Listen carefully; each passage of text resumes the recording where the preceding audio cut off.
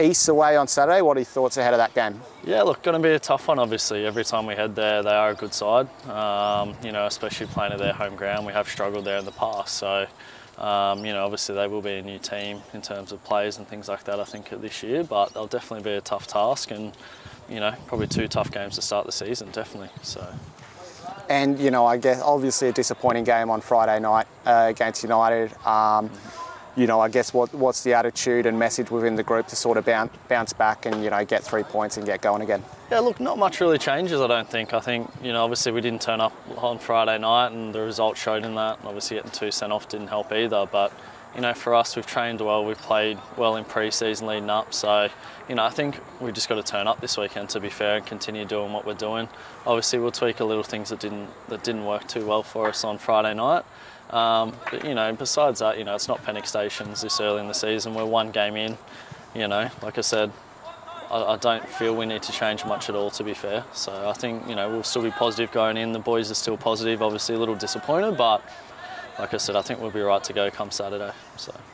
And as you sort of touched on, you know, um, Friday aside, it has been pretty positive so far. You know, the couple of games I've been to, the team's played really well. It's looking really strong. You know, there's plenty of depth in this side. How do you think it's all shaping up this year? Yeah, good. Like you said, you know, we do have a lot of depth. It's probably something we haven't had in the past. Um, obviously, you know, we are a new team, team as well. We've had plenty of new signings, you know, and realistically, we haven't played too many, I guess, competitive games in a sense as well. So, you know, it'll take time to gel, there's no doubt about that, but the quality that we have in this side and like you said, the depth that we have, I'm sure that'll come faster, you know, I guess rather than later, especially this year. So, yeah.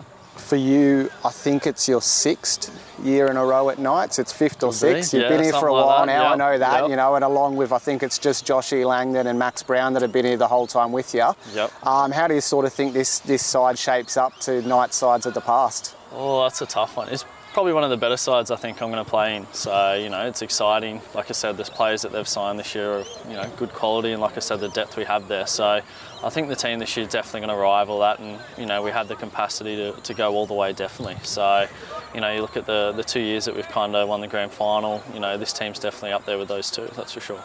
So. And um, yeah, as you sort of touched on, East, what are you sort of expecting from them? I know that they've had a lot of changes this year, as you said, and their, their results have been a little bit hit and miss. You know, probably the last two beating Lions and Rochedale shows that you know they're not to be taken lightly. No, for sure. They're definitely a team that will take points. You know, there's no doubt about that, and they've showed that over the years. Um, you know, I think towards the back end of last season when we played them, they, they might have even taken points off us. I think towards the semis there. So, I think they're a team definitely that in the past have been really good on the counter and things like that. Um, you know, defensively they've been pretty solid, and like I said, they've been able to battle out those games and, and you know get results, especially late on as well in the game. So, like I said, it's definitely going to be a tough game, I think, and you know we're looking forward to it.